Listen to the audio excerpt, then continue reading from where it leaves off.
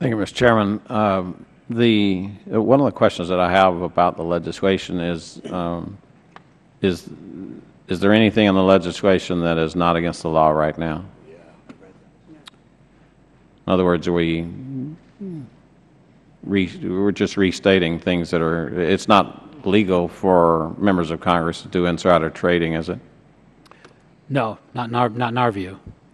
So is there anything in the in the bill that is new that does not already exist in law as a prohibition?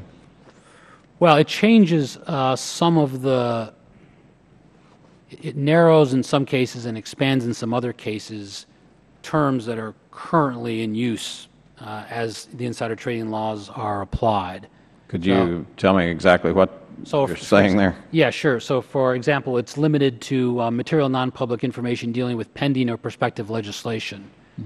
There is, isn't, real, isn't really such a restriction uh, in the law in general. Um, uh, and so, in the case of a members of Congress, if you got information from the executive branch or a regulatory agency, it wouldn't be covered by this um, legislation. Um, it's limited to securities or the swaps of issue, certain issuers, which means it doesn't cover options, it doesn't cover exchange traded funds, or it doesn't cover mutual funds. Those things um, would generally be covered in insider trading law as it currently, uh, it currently exists. The tipping, there's no explicit provision. Is there a reason for this piece of legislation? Again, Would you, would you take this legislation and go to work on uh, members of Congress who have been uh, getting by with things? Uh, Would, would this open the door to you to undergo um, things that right now you won't take on because you don't have enough powers? no, I don't think that's Okay. the case. The, uh, what would you, uh, one of my suggestions is that the White House and the uh, administration are completely not mentioned in here. And as I look at the, the numbers of regulation, they have far more impact. In other words, the BART rule, best available replacement technology on coal-fired turbines, uh, MACT boilers, those, those things have far more effect on the price of stocks than much of what we do. Um, Is there something, something in law like this that prevents members of the administration members of the cabinet from doing the same thing because they, the regulations have uh, greater immediate impact on stock prices than anything, the the 90 percent of the stuff that, that passes through this body?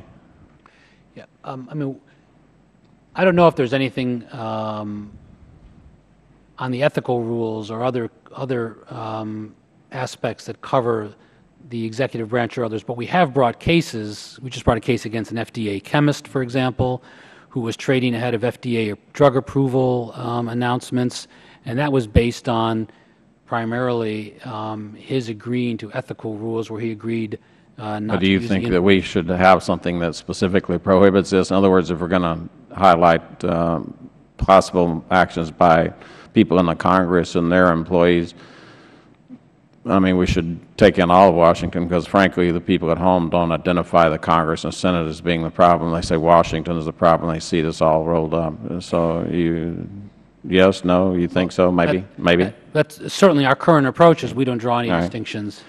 The, now, when I consider abuses, uh, I look back at Global Crossing. Did you all ever do anything? There were a lot of people on the, a lot of people made a lot of money. About $700 million appeared to evacuate out of the, uh, out of the uh, price of that stock. And that wasn't necessarily just members of Congress, but it was, it were people who were associated with members of Congress and people in the, the party structure. Have you all ever taken a formal look at that? Uh, Congressman, I've only been with the commission since March of uh, Could you get me an answer on that? I could you get me an answer to of you. what? And this is probably now six, seven years, five, six, seven years ago.